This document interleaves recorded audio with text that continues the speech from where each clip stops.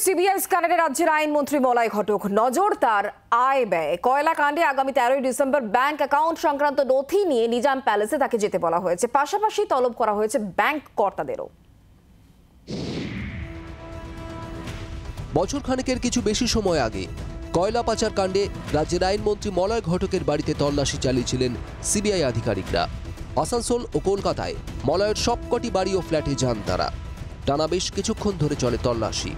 সেই কয়লা পাচার কাণ্ড নিয়ে আবার তৎপরতা সিবিআই এর তলব করা হয়েছে রাজ্যের আইনমন্ত্রীকে মলয় ঘটকে আগামী তেরোই ডিসেম্বর সব নথিপত্র নিয়ে নিজামে হাজিরার নির্দেশ সিবিআই এর মূলত মন্ত্রীর ব্যাংক অ্যাকাউন্ট সংক্রান্ত নথিপত্র জমা করতে বলা হয়েছে। একইভাবে মন্ত্রীর পরিবারের সদস্যদেরও নথিপত্র তলব করেছে সিবিআই। এর পাশাপাশি ব্যাংক কর্তাদেরও নথি নিয়ে হাজিরার নির্দেশ দিয়েছে কেন্দ্রীয় এজেন্সি। কয়লা পাচার মামলায় মলয়কে অন্তত বারো বার তলব করেছিল ইডি। এর মধ্যে মাত্র কয়েকবার হাজিরা দেন তিনি।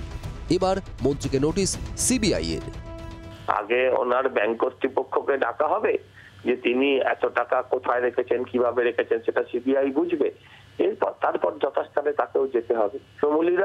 আহ, সহায়তা করুক তাহলে সেটা ওদের জন্য মঙ্গল। মলয়বাবু বারোবার করে বেঁচেছেন কিন্তু ট্র্যাক রেকর্ডটা খারাপ করে ফেলছেন।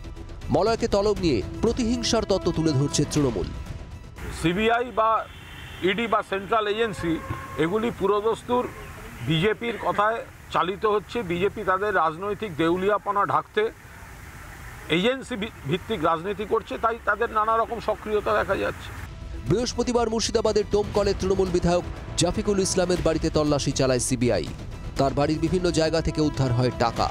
তার পরদিনই কেন্দ্রীয় তদন্তকারী সংস্থার নোটিশ রাজ্যের এক মন্ত্রীকে। ব্যুরো রিপোর্ট, জি চব্বিশ ঘণ্টা। বাংলার আওয়াজ, বাঙালির আবেগ, জি চব্বিশ ঘণ্টা।